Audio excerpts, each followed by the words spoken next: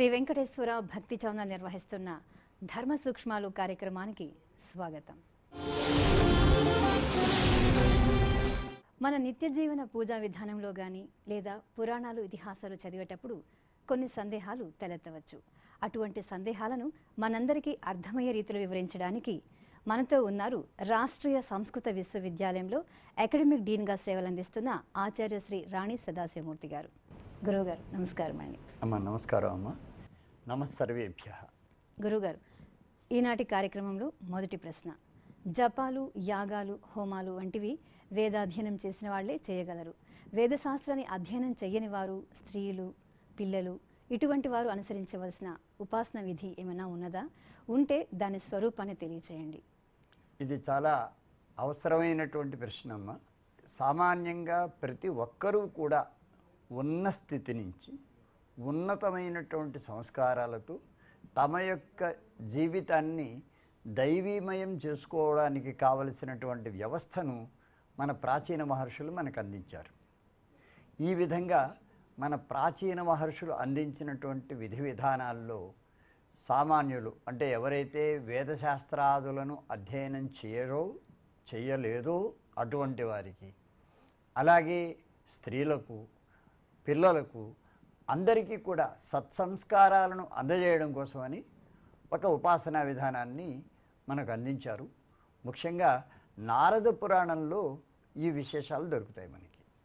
ఈ నారద పురాణంలో ఉన్నటువంటి ఈ విశేషాలను కనుక మనం గమనించినట్లయితే ప్రాతకాలంలో నిద్ర లేచింది మొదలు తిరిగి నిద్రకు ఉపక్రమించే వరకు అంటే రాత్రి వరకు కూడా ప్రతి క్షణము ప్రతి అంశము ప్రతి పదము దైవీమయం కావాలి.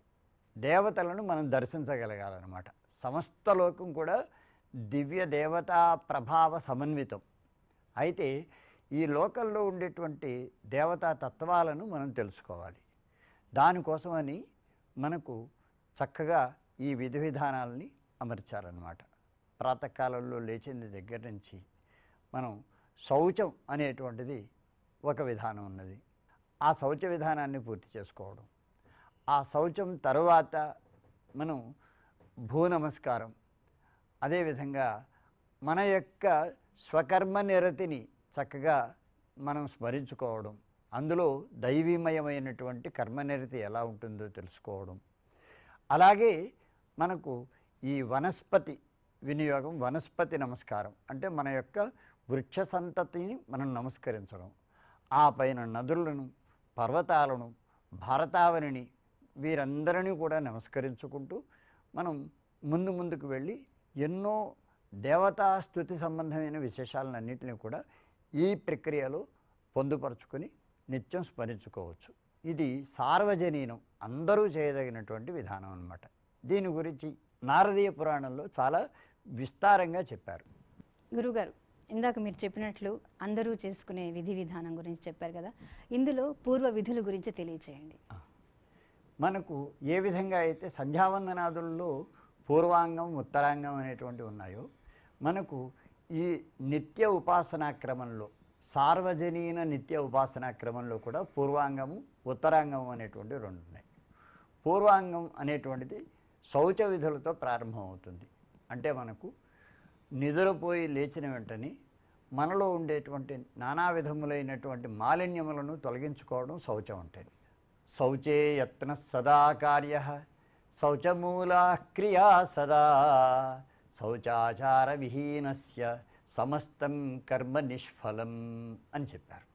ఇక్కడ మనం కనుక గమనించినట్లయితే శౌచం అనేటువంటిది చాలాసార్లు మనం చెప్పుకున్నటువంటి విషయం.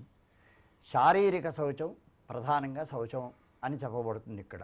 దానితో పాటు మానసిక శౌచం వాచిక శౌచం అంటే మాటని శుభ్రంగా ఉంచుకోవడం మనస్సును శుభ్రంగా ఉంచుకోవడం అదేవిధంగా బుద్ధిని శుభ్రంగా ఉంచుకోవడం అహంకారాన్ని శుభ్రంగా ఉంచుకోవడం ఇవన్నీ కూడా శౌచంలో అంతర్భవిస్తాయి. కాబట్టి శౌచే యత్నస్సదా కార్య అంటే శౌచక్రియలో మనం నిరంతరం ప్రయత్నం చేస్తూ ఉండాలి. అందుకోసమే శౌచం అనేటువంటిది సగం ఆరోగ్యం అంటారు. మ్మ్. అందుచేత మనం ఆ శుచి శుభ్రత అని మన వాళ్ళు వ్యవహరిస్తూ ఉంటారు. ఆ శుచి అనేటువంటి దాన్ని మనం పాటించడమే శౌచం అంటే. శౌచమూల క్రియాసద. ఏ సత్కర్మను ఆచరించినప్పటికీ కూడా శౌచంలోంచే అది ఆవిర్భవిస్తుంది. కనుక శౌచ ఆచార విహీనస్య. ముందు శౌచం తర్వాత ఆచారం. ఆచారం అంటే పెద్దలు చెప్పినటువంటి మార్గంలో మనం నడవడం అన్నమాట. ప్రాతకాలంలో నిద్ర లేవాలి. ఆ తర్వాత ఈ ప్రక్రియలో మనం నడుచుకోవాలి అని చెప్పేటువంటిది పెద్దలు మనకి చెప్పిన మార్గం. దీన్ని మనం శౌచాచారములు అన్న దాంట్లో ఆచారంలో తీసుకుంటాం. శౌచాచార విహీనస్య సమస్తం కర్మ నిష్ఫలం అన్నారు. వారు ఏ పని చేసినా సరే అది ఫలరహితం అవుతుంది అన్నారు. ఇది మొదటిది శౌచ విధి. ఈ శౌచ విధిలో భాగంగా మనం చెయ్యను విడిచిపెట్టి నిద్ర లేచిన వెంటనే మన చేతిని మనం నమ్ముకోవాలి అని చెప్తున్నారు. కారణం ఏంటంటే చేతిలో దేవతాత్రయం ఉన్నారు.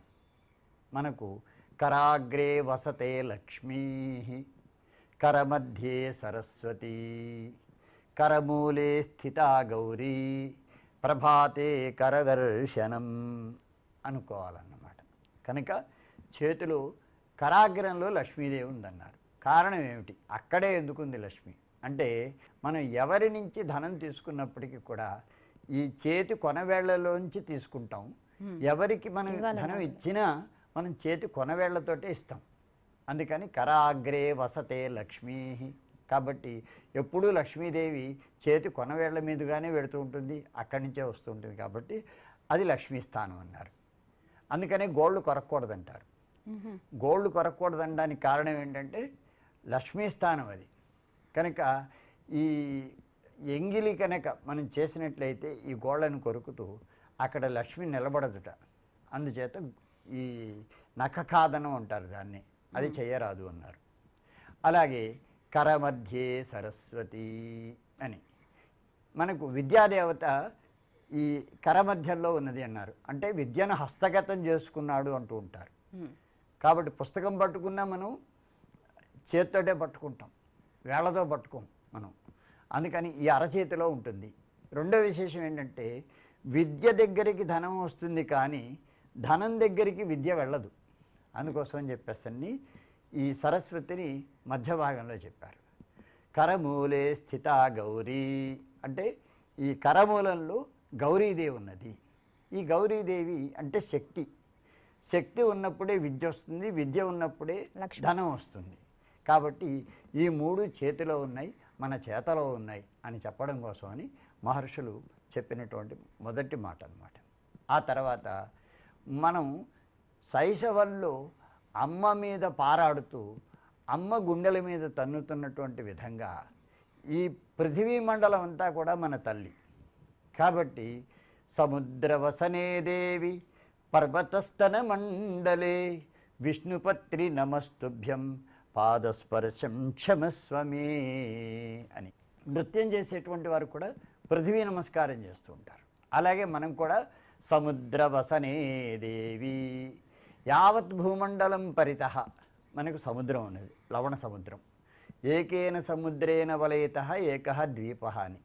అందుకని జంబూద్వీపం అంటే యావత్ భూమండలం కలిపి జంబూద్వీపం అని మనకు పురాణాలు చెప్తున్నాయి. కనుక ఈ సముద్రవసనే దేవి సముద్రం ఈ తల్లికి వస్త్రంట. పర్వతస్తనమండలే పర్వతాలు ఈ తల్లికి వక్షస్థలం అని చెప్పారు. విష్ణుపత్ని నమస్తుభ్యం శ్రీ భూదేవి సమేత శ్రీ మహావిష్ణు అని చెప్తూ ఉంటాం. కనుక విష్ణుపత్ని నమస్తుభ్యం ఈ భూదేవి విష్ణుదేవునికి పత్ని అని చెప్పారు. పాదస్పర్శం క్షమస్వమే. తల్లి నేను నీ మీద కాలు మోపకుండా సంచరించలేను కాబట్టి ఈ ప్రాతకాలం నుంచి రాత్రి వరకు నా సంచారానికి అనువైనటువంటి ఈ పాదస్పర్శ ఏదైతే ఉన్నదో దాన్ని అనుమతించవలసింది నీ కుమారుడికి లేదా నీ సంతానానికి. ఆడపిల్లలైనా కావచ్చు అందరికీ అన్నమాట. కనుక ఈ విధంగా పాదస్పర్శం క్షమస్వమే అని చెప్పారు. ఇది అయిన తర్వాత మనం భూమి మీద అడుగు పెట్టాం బయటికి వెళ్ళాం. బయటికి వెళ్ళిన తర్వాత అక్కడ మనం చేయవలసినటువంటి పని ఏమిటి? వనస్పతి వృక్షాల దగ్గరికి వెళ్తాం. వృక్షాల దగ్గరికి వెళ్ళి చక్కగా కొన్ని ఔషధీయ గుణములు ఉన్నటువంటి వృక్షాలు చెప్పారు. చెప్పి ఆ వృక్షానికి సంబంధించినటువంటి చిటికని వేలు ప్రమాణంలో పొడుగ్గా ఉండేటువంటి ఈ మాత్రం కర కర ప్రమాణం ఉండాలంట చిటికన వేలంత లావు ఉండాలట. అంతకంటే ఎక్కువ లావు ఉండకూడదు. అటువంటి కొమ్మని విరవాలి. కొమ్మని విరిచి దాంతో కూర్చం చేయాలి. అంటే కుంచె. దాంతో దంతధావనం చేసుకోమన్నారు. చేసుకునేటప్పుడు ఆయుర్బలం యశోవర్చ ప్రజా పశువసూనిచ బ్రహ్మ ప్రజ్ఞాంచ మేధాంచ త్వన్నో దేహి వనస్పతి అని చెప్పారనమాట అంటే వనస్పతిని ప్రార్థిస్తూ విరవాలట. అంతే తప్పిస్తే మనం నిర్లక్ష్యంగా ఆ చెట్టుని అవమానపరుస్తూ చేయకూడదు. కారణం ఏమిటి? ఈ వృక్షాన్ని కనుక మనం పూజించినట్లయితే ఈ వృక్షం వల్ల మనకు పది రకాలుగా ప్రయోజనాలు కలుగుతాయట. ఆ ప్రయోజనాల్లో మొదటిది ఆయుహు. ఒక్కొక్క వృక్షం యొక్క ఆ కొమ్మతోటి మనం దంతధావనం చేసుకోవడం వల్ల ఆయుర్వృద్ధి కలుగుతుంది అని చెప్పారు. ఆ రసాన్ని మనం సేవించడం వల్ల. వేప ఇలాంటివి కొన్ని ఉన్నాయి. వేప వావిలి మొదలైనవి.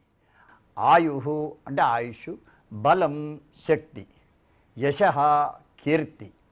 కీర్తి ఎందుకు అంటే బలం ఉన్నవాడు ఏ ధర్మాన్నైనా ఆచరించగలుగుతాడు. బలం ఉన్నవాడు ధర్మాన్ని ఆచరించడం వల్ల కీర్తిని సంపాదిస్తాడు. అలాగే వర్చ మంచి తేజస్సు వస్తుందన్నమాట ముఖంలో. అలాగే ప్రజాహ అంటే కొన్ని వృక్షాలు సంతాన శక్తిని ప్రసాదించేటువంటివి. కనుక ప్రజా అంటే సంతానం అనమాట సంతానం కలుగుతుంది. అలాగే పశువసూనిచ ఆ వృక్షానికి సంబంధించినటువంటి ఫలాలని ఆ వృక్షాలకు సంబంధించినటువంటి పుష్పాలను ఇతర కలపను మొదలైనటువంటి వాటిని అన్నింటినీ కూడా విక్రయం చేస్తే వచ్చేటువంటిది వసు సంపద. అంతేకాకుండా తులసి ఇలాంటి చెట్లు కనుక మన ఇంట్లో ఉన్నట్లయితే దానివల్ల కూడా ఆ దైవీ ప్రభావం వల్ల కూడా మనకి సంపదలు కలుగుతాయి. అందుకని పశు సంపద మామూలుగా వసువులు అంటే వసు అంటే ఇతర సంపదలు అన్నమాట. ద్రవ్యాదులు సువర్ణ ద్రవ్యాదులు ఇవన్నీ వస్తాయి అని చెప్పారు. వీటితో పాటు బ్రహ్మ అంటే బ్రహ్మ అంటే మనకు శుద్ధ పరబ్రహ్మతత్వం జగత్కారణభూతమైనటువంటి తత్వం. దాని గురించి అవగమనానికి కావలసినటువంటి ఆలోచన శక్తిని పెంపొందిస్తాయి వనస్పతులు. అలాగే మనకు ప్రజ్ఞాం ప్రజ్ఞ అంటే త్రికాల జ్ఞానాన్ని అంటే మూడు కాలాలకు సంబంధించినటువంటి విషయ పరిజ్ఞానాన్ని మనం పెంపొందించుకోవడానికి కావలసినటువంటి సామర్థ్యాన్ని మనకిస్తాయన్నమాట వనస్పతులు అంటే వృక్షాలు. ఎలాగా? అంటే జ్ఞాపక శక్తిని పెంపొందిస్తాయి. కనుక మనం గతాన్ని స్మరించుకోగలుగుతాం. అదేవిధంగా వర్తమాన కాలంలో ఏం చేయాలో చెప్తాయి. దానివల్ల బుద్ధి రక్షింపబడుతుంది. అలాగే రాబోయేటువంటి విషయాల్ని మనం గమనించగలుగుతాం. దానివల్ల మనకు మతి అంటారు దాన్ని. అంటే జరిగిపోయిన విషయాల గురించి చెప్పేది స్మృతి. వర్తమాన విషయాన్ని గురించి చెప్పేది బుద్ధి రాబోయే విషయాలని గురించి చెప్పేటువంటిది మతి ఈ మూడు కలిపితే ప్రజ్ఞ అంటారు.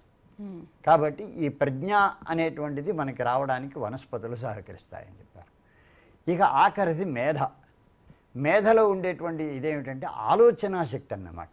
చదువుకున్న చదువుని మనం లౌకిక ప్రయోజనాల కోసం వినియోగించడం అనేటువంటిది అనమాట దీనికోసం మనకు మేధ అనేటువంటిది ఉపయోగపడుతుంది. వీటినన్నిటినీ మనకు అనుగ్రహించేటువంటిది ఏమిటంటే వనస్పతి వినియోగం అన్నారు. ఆ తర్వాత స్నాన ప్రక్రియ. స్నాన ప్రక్రియ వేళలో గంగే చ యమునే చైవ గోదావరి సరస్వతి నర్మదే సింధు కావేరి జలేస్మిన్ సన్నిధిం కురు. పూజా ప్రారంభంలో కూడా మనం చదువుతూ ఉంటాం కలశంలోకి రమ్మని. అలాగే స్నాన ద్రవ్యంలో కూడా స్నాన జలాలలో కూడా సమస్త పుష్కర జలాలు ఈ గంగాది సర్వతీర్థ జలాలు ఈ సప్త నదులు ఏవైతే ఉన్నాయో వీటన్నిటికి సంబంధించినటువంటి ఆ నదులలో ఉన్న దైవత్వం మనం స్నానం చేసేటువంటి స్నాన జలాల్లోకి రావాలి అని మనం కోరుకుని చక్కగా మనం స్నానం చేయాలి అని చెప్పారు. ఇంతవరకు ఇది పూర్వ విధి. గురువుగారు పూర్వాంగం గురించి చాలా చక్కగా వివరించారు. అలాగే ఉత్తరాంగంలో ఏవే ఉంటాయి అందులో ఏ స్థుతులు ఉంటాయో వాటిని కూడా వివరించండి. ఏ సత్కర్మను మనం ఆచరించాలన్నా ముందు స్నానం చేయాలి. స్నాన విధి అనేటువంటిది శౌచంలో చివరిదన్నమాట. ఈ శౌచ విధి తర్వాత మనం దేవతా నమస్కారం కోసం ప్రారంభం చేస్తాం. దేవతా నమస్కారం కోసం ప్రారంభం చేసేటువంటి సమయంలో మేదిని పూజ అంటారు. భూమిని పూజించడం. భూమిని పూజించేటువంటి సమయంలో మనం చేయవలసిన పని ఏమిటంటే భూమి అంటే కేవలం మనం ఉన్నటువంటి స్థలం మాత్రమే అనుకుని కాకుండా ఈ భూమండలం అంతా కూడా ఆదిశేషుని యొక్క శిరస్సు మీద ఉన్నది ఈ ఆదిశేషుడు కూర్మపతి యొక్క మూపున ఉన్నాడు. ఈ కూర్మపతి ఈయన మనకు వరాహమూర్తికి సంబంధించినటువంటి ఆ కోరల అగ్రభాగంలో ఉన్నాడు అనేటువంటి విషయాన్ని మనం చెప్పాలన్నమాట. ఆ విధంగా భూమిని స్మరించుకోవాలి. స్మరించుకున్న తరువాత విశేషించి భారతవర్షంలో మనకు సప్తమోక్ష నగరాలు అయోధ్య మధుర మాయ కాశీ కాంచీ హ్యవంతిక. పురీ ద్వారావతి చైవ సప్తయితా మోక్షదాయకా అని. ఈ మోక్ష నగరాలు ఏవైతే ఉన్నాయో మనకు అయోధ్య అయోధ్య నగరం మధుర మాయ అంటే నేటి హరిద్వారు కాశీ కాంచీపురం అవంతిక అంటే ఉజ్జయిని పురి ద్వారావతి. ఇక్కడ ఏమవుతుందంటే లెక్కలో ఎనిమిది నగరాలు వస్తున్నాయి. పురి నగరం కూడా తీసుకుంటే. కొంతమంది ఈ లెక్క ఏడని చెప్పినప్పటికీ కూడా చక్కగా పూరి జగన్నాథ స్వామి యొక్క జగన్నాథపురి చాలా పవిత్రమైనటువంటిది కాబట్టి అది కూడా పవిత్ర క్షేత్రమే మోక్ష నగరమే అని చెప్పి అని చెప్పారు. అది మోక్ష నగరం అన్నటువంటి దాంట్లో సంశయం లేదు. ఉమ్. కనుక మొత్తం మీద ఈ సప్తనగరాల యొక్క స్మరణం కూడా మనకు చక్కగా ఒక గొప్ప ఉత్తేజాన్ని కలుగజేస్తుంది. ప్రాకృతికమైనటువంటి స్థుతుల్లో మొట్టమొదట ఈ మోక్ష నగరాలని స్మరించడం అనేటువంటిది. రెండవది ప్రకృతిలో మనకి మహేంద్రో మలయ సహ్యో దేవతాత్మా హిమాలయ ధ్యేయో రైవత కోవింధ్యో గిరిశ్చారావలిస్తథా అని చెప్పారు. అంటే మనకు పర్వతాలు అనేక రకాలు. మన ప్రాచీన భారతీయ విజ్ఞానంలో పురాణాలలో చెప్పినటువంటి భౌగోళిక వర్ణనలు కనుక మనం చూసినట్లయితే మనకు కులపర్వతాలు అని చెప్పారు. ఈ కులపర్వతాలు అనేటువంటివి ఏంటంటే భూమిలో పైకి ఎంత ఎత్తునున్నాయో లోపలికి కూడా అంత లోతుకు చొచ్చుకొని పోయి ఉన్నటువంటి పర్వతాలని కులపర్వతాలు అంటారు. తర్వాత శాఖా పర్వతాలు అని. ఒక పర్వతం ప్రధానంగా ఉంటుంది. దానికి శాఖోపశాఖిక క్రమంలో మిగిలిన పర్వతాలు వర్ధిల్లుతూ ఉంటాయి. ఈ శ్రీ పర్వతం అనేది ఇప్పుడు మన ఈ సప్తగిరుల యొక్క మూల పర్వతం దాంట్లో శాఖలే శేషశైలం అని సింహశైలం అని గరుడాచలం అని మనకు నారాయణాద్రి వృషాద్రి వృషభాద్రి. ఇవన్నీ కూడా అవి శాఖలు అన్నమాట కాబట్టి అనేక శాఖలతో కూడినటువంటి పర్వతాలు శాఖా పర్వతాలు ఇలాంటివి కొన్ని ఉన్నాయి ఇవి కాకుండా సీమా పర్వతాలు అంటే రెండు దేశాలని రెండు ఖండాలని రెండు వర్షాలని వేరు చేసేటువంటి పర్వతాలు సరిహద్దు పర్వతాలు అన్నమాట. సీమా పర్వతాలు అని. ఇవి కాకుండా చిన్న చిన్న గుట్టలు వాటిని గిరులు అంటారు. కనుక ఇలా మనకు రకరకాలుగా ఉన్నాయి పర్వతాల్లో భేదాలు. వీటిల్లో మనం సప్తకుల పర్వతాలని కూడా సాక్షాత్తు దేవతామూర్తులుగా స్మరించుకోవాలి అన్నారు. అవి ఏమిటంటే మహేంద్రో మలయ సహ్యో దేవతాత్మా హిమాలయ ధ్యేయోరైవత కోవింధ్యో గిరిశ్చరావలిస్తథా అని. మహేంద్ర పర్వతం మలయ పర్వతం సహ్య పర్వతం వింధ్య పర్వతం ఆరావళి పర్వతం హిమాలయ పర్వతం ఇవన్నీ కూడా అన్నమాట. కనుక ఈ సప్తకుల పర్వతాలని మనం స్మరించుకోవాలి. గురువుగారు దేవత నవగ్రహాది స్థుతులను గురించి తెలియచేయండి. ఇక్కడ మనకు ప్రాకృత వందనలో మన పరిసరాన్నంతటిని కూడా దైవీమయంగా గుర్తించడం. ఇలా గుర్తించిన తర్వాత మనం చేయవలసింది ఏమిటంటే మనకు అభీష్టమైన దేవతలు బ్రహ్మామురారి త్రిపురాంతకారి భానుశశి భూమిసుతో బుధశ్చ గురుశ్చ శుక్ర శని రాహుకేతవ కుర్వంతు సర్వే మమ సుప్రభాతం అని. ఇక్కడ బ్రహ్మ మురారి త్రిపురాంతకారి అంటే బ్రహ్మ అంటే సృష్టికర్త అయినటువంటి చతుర్ముఖ బ్రహ్మ. మురారి అంటే మురాసురుని సంహరించినటువంటి విష్ణువు. అలాగే త్రిపురాంతకారి త్రిపురాసురుని సంహరించినటువంటి మహేశ్వరుడు త్రిమూర్తులు అన్నమాట కొంతమందికి విష్ణు ఇష్టం కొంతమందికి శివుడి ఇష్టం కొంతమందికి అమ్మవారి ఇష్టం. ఇలాగా ఎవరికి ఏ దేవత ఇష్టమో ఆ దేవత ఉపాసన చేయడం. దానితో పాటు నవగ్రహాలు. బ్రహ్మామురారి త్రిపురాంతకారి భానుష్యసి భూమిసుతో బుధశ్చ గురుశ్చ శుక్ర శని కుర్వంతు సర్వే మమ సుప్రభాతం అన్నారు. కాబట్టి ఈ విధంగా నవగ్రహాలని నవగ్రహాలతో పాటు అష్టదిక్పాలకుల్ని ఈ అష్టదిక్పాలకులు ఎవరెవరు అంటే తూర్పు దిక్కుకి అధిపతి ఇంద్రుడు ఆగ్నేయ దిక్కుకి అధిపతి అగ్ని దక్షిణ దిక్కుకి అధిపతి యముడు నిరుతి అనేటువంటి ఆ మూల ఏదైతే ఉన్నదో ఆ నైరుతి దిక్కుకి అధిపతి నిరుతి అనేటువంటి రాక్షసుడు ఆయన. రాక్షసుడిని కూడా మనం దిక్పాలకునిగా పూజించేటువంటి విధానం మనకున్నదన్నమాట. అలాగే పడమటి దిక్కుకి అధిపతి వరుణుడు ఉత్తర దిక్కుకి అధిపతి కుబేరుడు ఈశాన్య దిక్కుకి అధిపతి ఈశానుడు. కాబట్టి ఈ విధమైన అష్టదిక్పాలకులను కూడా మనం స్మరించుకోవాలి. అలాగే ఏకాదశ రుద్రులను ద్వాదశ ఆదిత్యులను అష్ట వసువుల్ని వీరందరినీ స్మరించుకోవాలి అని చెప్పారనమాట చెబుతూ ఇంత దివ్యమయం ప్రపంచం అంతా కూడా అంతేకాదు భూలోక భువర్లోక సువర్లోక జనలోక తపోలోక అజోలోక సత్యలోకాలైనటువంటి సప్త ఊర్ధ్వలోకాలు ఏవైతే ఉన్నాయో అవి అతల వితల సుతల తలాతల రసాతల మహాతల పాతాళాలు అనేటువంటివి సప్త పాతాళాలు ఇవన్నీ కూడా మనకు పూజనీయములే. అన్ని దైవీమయములే. ఒక్కొక్క లోకానికి ఒక్కొక్క అధిదైవత ఉంటూ ఉంటుంది. కాబట్టి ఆ అధిదైవత స్మరణతో మనం ఆయా లోకాలని సప్త ఊర్ధ్వలోకాలని మనం పూజించుకోవాలి. ధ్రువమండల పర్యంతం అన్నమాట. అదేవిధంగా మనకు క్రిందున ఉన్నటువంటి పాతాళలోక పృథివీపుటాని అని చెప్పారు. విశేషం ఏంటంటే మనకు ఊర్ధ్వలోకాలు మాత్రం భూమి నుంచి పైన ఉన్నాయి. కానీ పాతాళాలు మాత్రం భూమిలోని అంతర్భాగాలుగా పొరలుగా ఉన్నాయి అని చెప్పారు. కనుక భూమండలం అంతా ఒక గోళం అనుకున్నప్పుడు ఆ గోళంలో అంతర్గతంగా ఉండే పొరలే పాతాళాలు అని చెప్పారన్నమాట. అట్టడుగున ఉండేటువంటిది మనకు ఈ పాతాళం ఈ లోపల అతల వితల సుతల తలాతల రసాతల మహాతల పాతాళాలు అనేటువంటివి. ఆ విధంగా ఆ తలాలు వచ్చాయన్నమాట. వీటన్నిటిని కూడా మనం పూజించుకోవాలి. అంతా దైవాన్ని చూడాలన్నమాట. కనుక ఈ విధమైనటువంటి ఒక విశిష్టమైన ప్రక్రియ మనకు ఈ దేవతా స్థుతుల్లోనూ అదేవిధంగా ఈ నవగ్రహాది స్థుతుల్లో నవగ్రహాది స్థుతుల్లో కొన్ని విశేషాలు కూడా ఉన్నాయి. గురువుగారు మీరే అంటున్నారు నవగ్రహాలు అని. నవగ్రహాలలో కొన్ని గ్రహాలను పూజిస్తే సత్ఫలితాలు ఉండవు అని అంటుంటారు వీటిని పూజించడం వల్ల ఏదైనా ప్రయోజనం ఉందంటారా? అంటే నవగ్రహాలను పూజిస్తే సత్ఫలాలు ఉండవు అని కాదమ్మా. కాకపోతే కొన్ని కొన్ని గ్రహాలు ఎప్పుడూ మంచి చేయవు అంటూ ఉంటారు. కానీ అది ఒక అపోహ.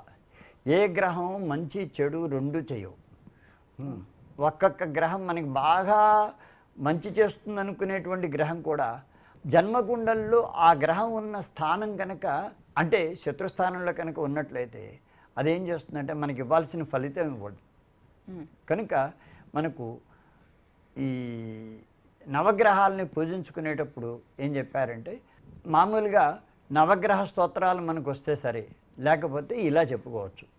నమ సూర్యాయ చంద్రాయ మంగళాయ బుధాయ చ గురు శుక్ర శనిభ్యశ్చ రాహవే కేతవే నమ. ఆ ఒక్క శ్లోకం చాలట. ఉమ్. మిగిలినవి మనకి తెలిసినా తెలియకపోయినా. ఏమిటి? ఈ నవగ్రహాలని కూడా మనం చక్కగా మనసారా భావించుకుంటూ స్మరించుకోవాలి. ఇక్కడ సూర్యుని వల్ల కలిగేటువంటిది ఏమిటంటే ఆరోగ్యం భాస్కరాది చేత్ అన్నారు. సూర్యుని కనుక మనం ఉపాసించినట్లయితే మనకు చక్కటి ఆరోగ్యం లభిస్తుంది. అలాగే చంద్రుని కనుక ఉపాసించినట్లయితే మనఃకారకుడు చంద్రుడు అని చెప్పేసి ఉంటారు ఈ మనఃకారకుడు చంద్రుడు కాబట్టి మనకు చంద్రోపాసన వల్ల మనస్సు స్థిరంగా ఉంటుంది. మనస్సు స్థిరంగా ఉంటే సంబంధాలన్నీ స్థిరంగా ఉంటాయన్నమాట. బాంధవ్యాలన్నీ కూడా మిత్రులతోటి బంధువులతోటి స్థిరంగా ఉండగలుగుతాం. కాబట్టి మిత్రశక్తి బంధుశక్తి మనకి పెరగాలంటే మనం చంద్రోపాసనం చేయాలి. అలాగే మనం వాక్కు చాలా పటిష్టంగా ఉండాలంటే కుజుని అనుగ్రహం ఉండాలి. అందుకని కుజుని ఉపాసించాలి. అలాగే మనకు బుధుని వల్ల సాంకేతిక పరిజ్ఞానంలో నైపుణ్యం కావాలి అనుకుంటే బుధుని మనం ఉపాసిస్తూ ఉండాలి. అదేవిధంగా బృహస్పతి ఉపాసన వల్ల మనకు సంప్రదాయ విద్యలు శాస్త్రాలు ఇవన్నీ చక్కగా కలుగుతాయి. శుక్రుని వల్ల ధన కనుక వస్తు వాహనాదులన్నీ కూడా సమకూరుతూ ఉంటాయన్నమాట. కనుక శుక్రోపాసన చేయమన్నారు. శని వల్ల వైరాగ్య బుద్ధి కలుగుతుందన్నారు. నిత్య దేవతోపాసనం చేసుకునేటువంటి వారికి ఏ గ్రహము చెడు చేయదు ఇది నియమం. కనుక మనం శని వల్ల కలిగేటువంటి ప్రయోజనం ఏంటంటే మనకు వైరాగ్య బుద్ధి కలుగుతుందన్నమాట. ఇక రాహుకేతు వీళ్ళిద్దరూ కూడా రాక్షస గ్రహాలు అని చెప్తారు ఛాయాగ్రహాలు అని చెప్తారు వీటిని. వీటిలో కేతువు మోక్షకారకుడు అని చెప్తారు. కాబట్టి కేతు ఉపాసన వల్ల కేతు జపం వల్ల మనకు ముక్తి అనుకూలమైనటువంటి భావాలు ఏర్పడుతూ ఉంటాయి. అలాగే ఇంకా రాహు రాహు వల్ల సామాన్యంగా జరిగేటువంటి పని ఏంటంటే ఒక విధమైన బద్ధకం నిష్క్రియాత్మకత అదేవిధంగా తటస్థ బుద్ధి ఏ పని చేయాలనుకోకపోవడం ఒక మాంద్యం ఇవన్నీ ఏర్పడుతూ ఉంటాయి. రాహువు వల్ల సాధారణంగా కలిగేటువంటివి. కానీ రాహువు కనుక తన మిత్రగ్రహాలైనటువంటి శుక్రునితోటో శనితోటో బుధునితోటో ఇలా కనుక ఆయన కలిసి ఉన్నట్లయితే దానివల్ల జరిగేటువంటి ప్రయోజనాలు ఏమిటంటే రాహు మహాదశలో ఆ జాతకుడికి అతను తన యొక్క మిత్రగ్రహాలతో కలిసి ఉండడం వల్ల చాలా చురుకైన బుద్ధి లభిస్తుందట. మంచి కీర్తి లభిస్తుంది. అంతేకాకుండా చక్కటి సుఖాలను అనుభవిస్తాడు. ఉన్నతమైన పదవులకు వెళ్తాడు. ఇన్ని రకాల ప్రయోజనాలు ఉన్నాయి అది రాహు ఇచ్చేటువంటిది. ఒక శీతల గృహం ఏ విధంగా అయితే ఎండ యొక్క ప్రభావం మనకి కలుగనివ్వకుండా చేస్తుందో ఉపాసన అనేటువంటిది ఈ గ్రహముల యొక్క ప్రభావం మన మీద పడకుండా చేస్తుంది. ఈ విధంగా చేసి రక్షిస్తుంది. దానికోసమని ఈ గ్రహోపాసనలు అనేటువంటివి చేయాలన్నమాట. ఇవన్నీ చేస్తే మనకు చక్కగా వ్యవహారం అంతా చాలా బాగుంటుంది. గురుగారు ఈనాటి కార్యక్రమంలో సార్వజనిక ప్రాతస్మరణం గురించి చాలా చక్కగా వివరించినందుకు మీకు మా ప్రేక్షకులందరి తరపున ధన్యవాదాలు తెలియజేస్తున్నాం. ధన్యవాదాలమ్మా. నమస్తర్వేభ్య ఓం నమో వెంకటేశాయ. చూశారు కదండి ధర్మ సూక్ష్మాలు కార్యక్రమాన్ని ఈ కార్యక్రమం మిమ్మల్ని ఎంతగానో ఆదరిస్తోందని విశ్వసిస్తూ తర్వాయి భాగంలో మరికొన్ని విశేషాలను తెలుసుకుందాం. ఓం నమో వెంకటేశాయ. Thank